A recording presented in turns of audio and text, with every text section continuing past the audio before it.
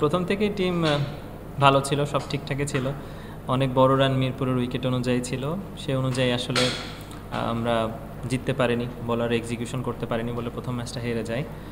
তার পরবর্তীতে দুইটা ম্যাচ তো আমরা পরপর জিততে পারলাম। সো মোমেন্টামটা আমাদের দিকে আবার চলে আসছে। আশা করি এটা ধারাবাহিকতা বজায় রাখতে পারব। না, এটা আসলে এরকম কোনো প্ল্যান না। হয়তো আজকে সকালেই প্ল্যান হয়েছে। আর মিরাজ তো ওপেন করে অনেক সময়। সো একটা ভালো প্ল্যানিংই ছিল আমি মনে করি। আসলে আমি তো ওপেন করতে প্রথম থেকে পছন্দ করি। মিরাজ অনেক ইন্টেলিজেন্ট একটা ছেলে। ও সবসময় নিজের বুদ্ধিমত্তাকে মাঠে এক্সিকিউশন করার ট্রাই করে। ও যখনই সুযোগ পায়, ও ভালো করার চেষ্টা করে। যেটা আমরা ইন্ডিয়া সিরিজে দেখেছি ও কতটুকু ক্যাপাবল একটা ব্যাটসম্যান হিসেবে। সো ও তো ইমপ্রুভ করছে। আমি মনে করি যে আরও ইমপ্রুভ করবে ডে বাই ডে যদি ওর সুযোগ আসে ওপেনিং করার আরও যদি দেশের হয়ে ওপেনিংয়ে ভালো করে সেটা তো দেশের জন্যই আসলে লাভ। সো আমরা যেই ওপেনিং করি আলটিমেট গোল থাকবে দেশকে জেতানো একটা ভালো স্টার্টিং দেয়া। সেটা যদি মিরাজ পারে বা আমি পারি যেই পারে এটা দেশের জন্য উপকারী হবে।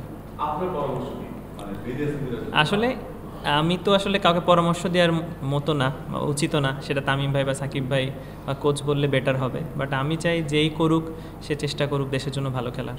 না পজিশন নিয়ে ভাবছি না ওই রকম বাট আমাদের প্রতিটা প্লেয়ারদের মধ্যেই এতটুকু মানে বুদ্ধিমত্তা আছে যে তারা ইমপ্রুভ করতে চায়। প্রতিদিন তারা যখন মাঠে আসে, তারা টু পার্সেন্ট থ্রি পার্সেন্ট হলেও চেষ্টা করে যে আগের দিন থেকে বেটার করা যায় কি না কারণ আমি যতই টেবিল টপার হই বা চারে আমি ভিতরে ঢুকি না কেন? তারপরও আপনার মেইন ইম্পর্টেন্ট ম্যাচ কিন্তু লাস্টের দুইটা বা লাস্টের একটা আমি মনে করি। আমরা সবাই তাই মনে করি। সো আমরা যতটুকু ডে বাই ডে ইম্প্রুভ করতে পারি অ্যাজ এ ব্যাটসম্যান হিসাবে ফিল্ডিং হিসাবে বলার হিসাবে, তো আমরা প্রতিটা প্লেয়ারই এই চেষ্টাটাই আছে এবং এই চেষ্টাটাই অব্যাহত থাকবে যে আমরা এটাকে ডিপলি কতটুকু নিয়ে যেতে পারি। না, এখানে তো বল লাগল, দেখলেন এগারোটা সেলাই পড়ছে। বাট ঠিক আছে, ছোট ছোট সেলাই। আশা করি তাড়াতাড়ি সুস্থ হয়ে যাব। ওরকম চোখে কোনো প্রবলেম হচ্ছে না। এইখানে চ্যালেঞ্জটা দেখেন, আমরা কিন্তু মিরপুরে যখন ব্যাটসম্যানরা ব্যাটিং করে ব্যাকআপ মাইন্ডে একটা থাকে যে উইকেটটা কেমন হবে। একটা হয় না ব্যাকআপ মাইন্ডে সবসময় একটা টেনশন কাজ করে যে কেমন হতে পারে, ভালো হবে কি খারাপ হবে। খেলার পরে আসলে আমরা বুঝতে পারি, না, ভালো হচ্ছে না, খারাপ হচ্ছে। বাট চিটাগাঁয়ে কিন্তু ব্যাকআপ মাইন্ডে আমরা মোটামুটি ব্যাটসম্যানরা জানি যে এখানে রান হবে। তো আমাদের নেগেটিভ জিনিসগুলো কম কাজ করে। তো এইটা একটা বাড়তি আমার কাছে মনে হয় অ্যাজ এ প্লেয়ার এতদিন ধরে যেহেতু খেলছি, আমার কাছে মনে হয় এই বাড়তি একটা মনোসংযোগের কারণে হয়তো আমরা এখানে বেটার ক্রিকেট খেলি আর ওইখানে হয়তো মাঝে মাঝে আমরা একটু ফার্স্ট্রেশনের মধ্যে থাকি যে কি হবে, না হবে। এই ডাউটটা ক্রিয়েট হয়। তাছাড়া আমার কাছে মনে হয় দুইটা উইকেটই খুব ভালো ছিল।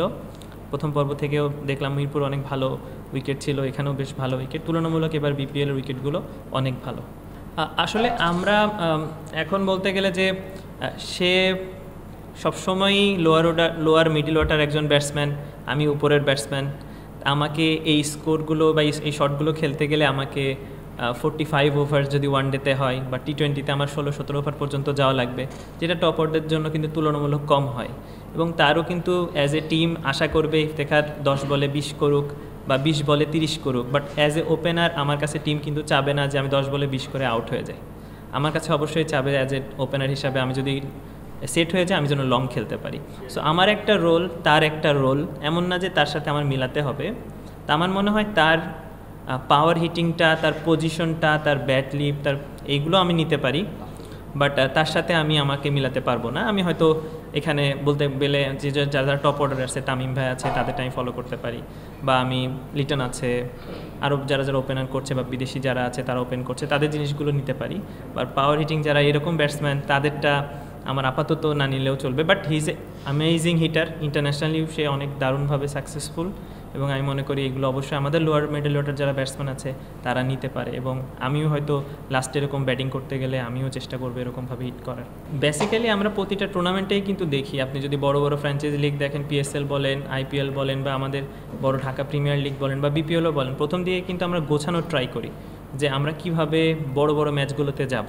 এটার জন্য আমরা বাই রোটেশন যে ম্যাচগুলো হয়, আমরা ওপেনার চেঞ্জ করি বা মিডল ওটার চেঞ্জ করি, একটা বলার ভালো করছে, তার জায়গায় আরেকটা বলারকে নিয়ে আসার ট্রাই করি, এগুলো বেসিক্যালি হতে থাকে। আমরা একটা পুরো শেপে আনতে পারব যখন আমাদের খেলাটা ডিপলি যাবে, যখন আমাদের এলিমিনেটর পর্ব আসবে, যখন সেমিফাইনাল আসবে ফাইনাল আসবে, এগুলোতে আমরা বেস্ট এফোর্টটা নিয়ে যেতে পারি। তো এটার জন্য আমাদের অনেক সময় মিক্সড আপ হয়, কোনটা বেটার হয় টিমের জন্য, এগুলো নিয়ে আমাদের মেন পর্বে যাওয়াটাই লক্ষ্য আসলে। বেসিক্যালি দেখেন, আমাদের জন্য বিসিবি হান্ড্রেড পার্সেন্ট সবসময় চেষ্টা করে। আমরাও সেটা মানি বাট একটা টুর্নামেন্ট চালাতে গেলে কিছু কিছু জিনিস তো ল্যাকিংস থাকে। প্রতিবারই হয় বা এটাকে ইমপ্রুভ করার ট্রাই করে। আমরা কিন্তু অ্যাজ এ প্লেয়ার আমরা আশা করব বেটার জিনিসটা।